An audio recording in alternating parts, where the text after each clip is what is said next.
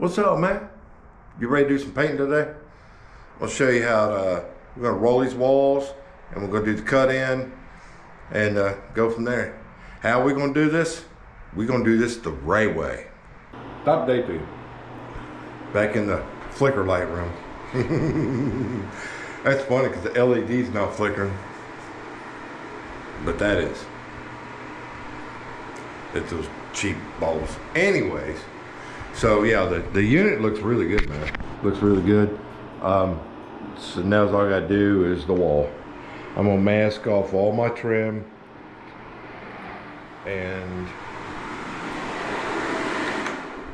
I ran fan blower last night to uh, uh, move air to dry it everything really good. So, so the doors are done. Nice little gloss on those doors, nice and pretty gloss. Um, so now all I have to do is cover up all my trim. That trim looks like crap, don't it? Jeez. That looks like toop. It looks like poopy. But anyway, so yeah, cover up. Looks like got a little bleed through here. Now, might have to put a coat of primer on that. Uh, some seal coat primer on that and then repaint that. But besides that, man, it looks really good in here. Uh, we'll knock that stuff off and we get to rolling these walls and uh, go to town. It's gonna take me a little bit. I have to mask everything off, uh, the trim wise. The reason why is because I put the tape and the paper right on the edge of the trim and that becomes my drop cloth on the floor. And I can run the roller right down and hit the paper and the tape and don't have, I don't have to cut that in. Uh, the ceiling, I will run my paper or my, the same gun or the roller, but I'll use masking tape along the top edge. That way I can take the brush and hit it and just roll and not have to worry about being real slow about it. But it looks pretty good in here. Looks good. Smells like crap. Dude, it reeks of cigarette in here. Even, uh, I turned the heaters on a while ago because it didn't stink like this earlier. I forgot to turn the heaters on. And when I, I swung by real quick and turned the heat on and then left, took care of something and then came back and it reeks of cigarette in here. So I'm gonna end up having to take, I'm gonna take the covers off and do a cleaning on the grill. It's a electric strip. So uh, yeah, because that's going to be, I, I don't think the boss will let me replace the heaters. She may. I'll, I'll give her a call and let her know. I'll let her know what's up because it, it reeks, reeks in here. And I know it's not the AC. I can clean the AC though. The AC, I'll clean the grill, the intake really good. Uh, the, take the cover off and clean the grill and then spray uh, de-smoke in there and that'll take care of that. I don't think I can do that with the heaters though, because heat, that electric baseboard, when it gets hot, it, it's that's why it stinks so bad in here. But I'll give her a call and ask her what she wants to do with that. Because if I do, then I'll have to remove the heater, and then I'll probably end up having to patch the wall. So I'll give her a call and see what she says. Otherwise, let's get to masking off these walls and the trim.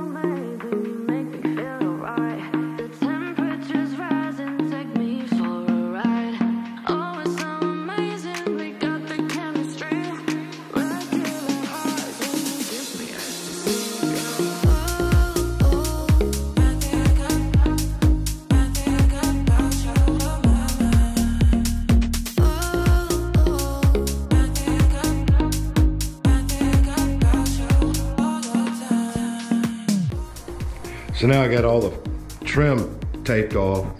Now I'll roll my, uh, the same machine without the paper and tape off the walls or the ceiling so that when I take the brush, I can hit it and roll with it and not have to worry about getting real slow cutting it in. Cool.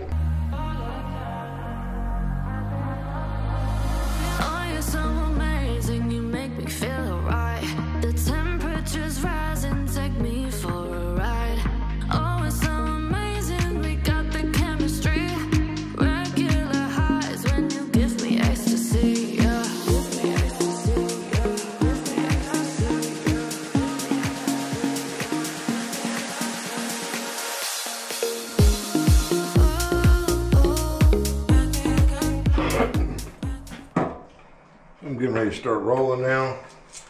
Uh, brand new roller. You always want to take uh, some tape and cover it up, bro. Then get all the fuzzies off. Because otherwise you'd be fighting the fuzzes. You know what I mean? Just roll it around there.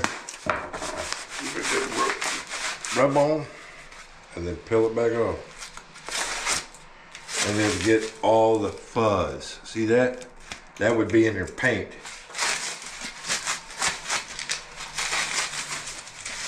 Roll it off, bro. It's not gonna get a thousand percent of it off, but it, it sure freaking helps, man. So the roller, the roller's pretty cool. It only goes on one way, and then it has this black guard that that keeps it on there. So you just slide it up, and basically it's the same thing. Hook it up to the gun, um, and uh, pull the trigger. Just an FYI. This is the reason why I always mix up my paint and use a strainer. I just got this out of a five gallon bucket. Look at that. That's horrible, ain't it? This is from the other painter. He, they just kept mixing paint. Uh, you know what I mean? It's just BS. But this is the reason why you always want to mix your paint up. I got two five gallon buckets that maybe had a gallon and a half, two gallons in each one. Put them together and uh, give them a good mix. Get them buggers out.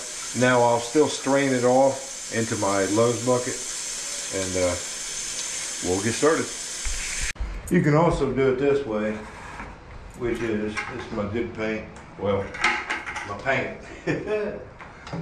um, I'm gonna go ahead and set it up over there. Then, put this in there, and then put the strainer in, like so, and then pour the paint in. That way it sucks the paint after it's strained. Versus straining, you know what I mean?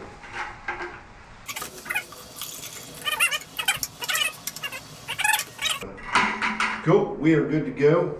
So all I gotta do is prime it, prime it.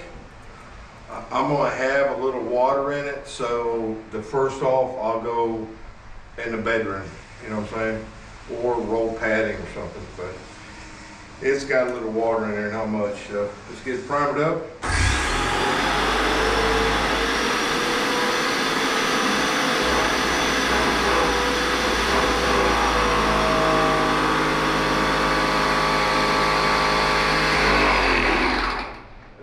Your setting, you want to kick it all the way down. It, it has a, uh, knob, a part of the knob that says roller.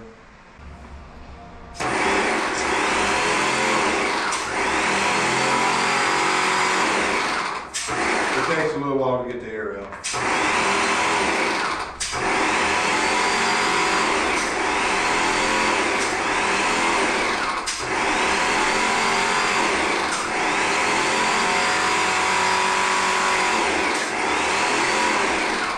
All right.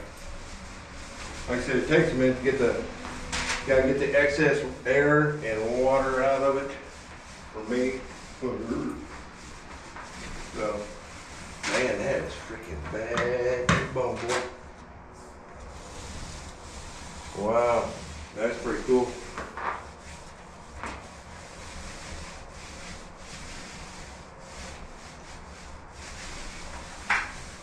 That is pretty cool, man. That's a pretty cool tool, man. Just a minute. I didn't have to double roll. So let's get it on, bro.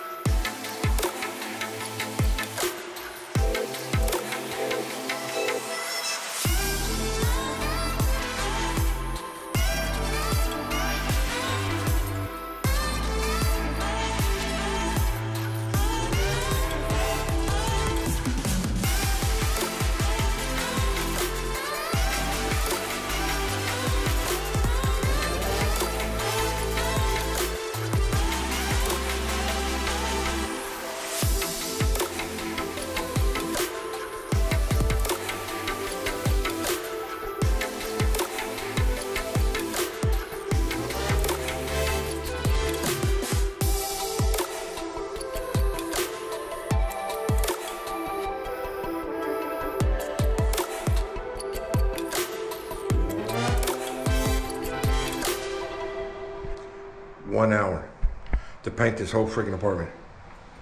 Check this out too. Top of my baseboards, I didn't cover them because I talked to boss. We're probably gonna replace them. No paint on there. Well, I hit it right there, but look at my trim or my paper. There's no flake off. I'm freaking amazed, man. Had I known how good this was, I would have taped off my trim. I would have taped that off. Because I did over here. I take this off and then I hit it with the roller.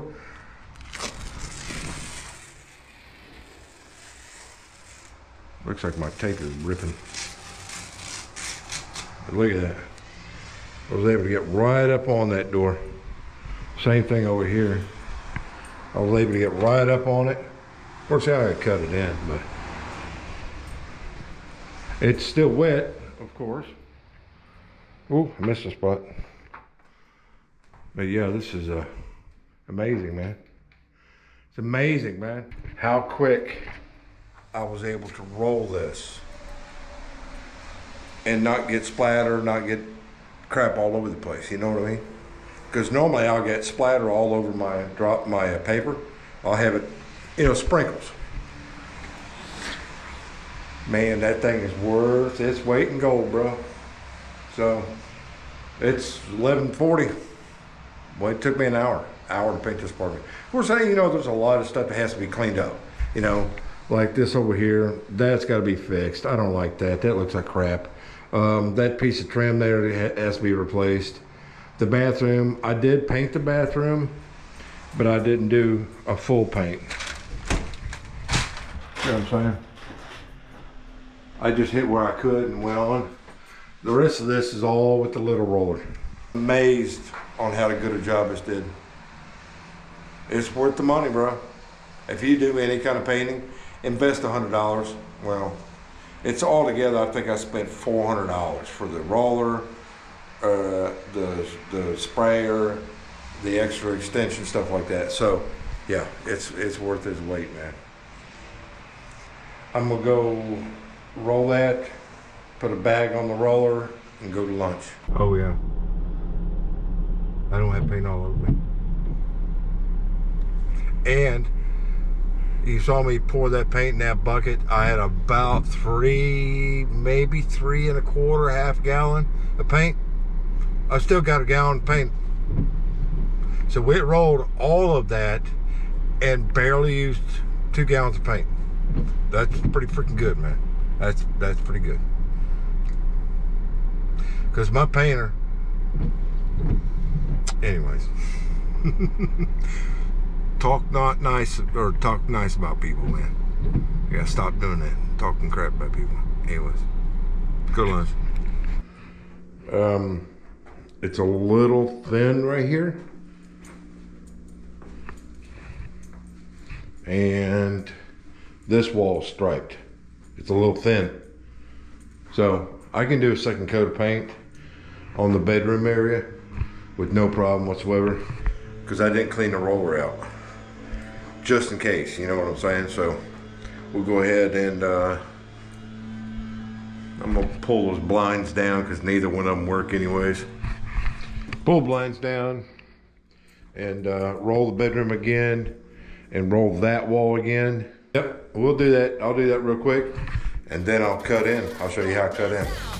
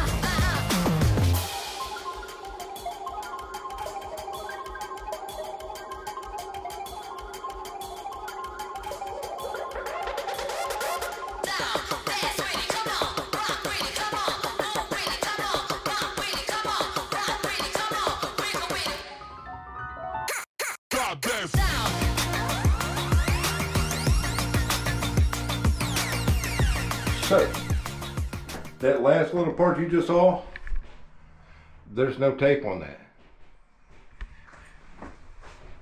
No tape. But I taught myself over the years how to cut in with an extension pole on an adapter without tape. It's kind of like the old Chinese, uh, the Chinese people used to practice with that freaking pole with the that pole with all the arms sticking out, and they pa pa pa. You know what I'm saying? A stationary pole, and they beat on it until they hardened their arms and their knuckles and their legs and stuff like that, so that when they went to battle, they whoop your they whoop your butt because they've been playing with that dead tree, been beating the crap out of that tree. That's why stuff like that doesn't scare me because I've already taught myself how to do it without the tape on there. So I'm just saying, the only point behind that was to say that if you train yourself the hard way, how to do it the hard way, like plumbing, if you train yourself on how to solder, everything else is easy peasy, bro. You think, man, this is cheating. You know what I'm saying? Drywall. Teach yourself how to do it the hard way. And then everything else is easy peasy.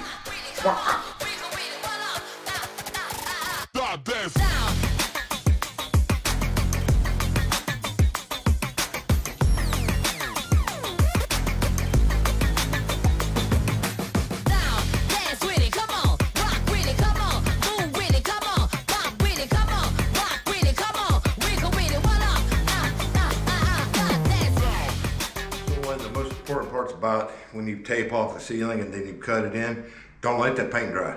If you do, you might end up with a run mark or a, um, you go to pull the tape off and it'll take the paint right with it. So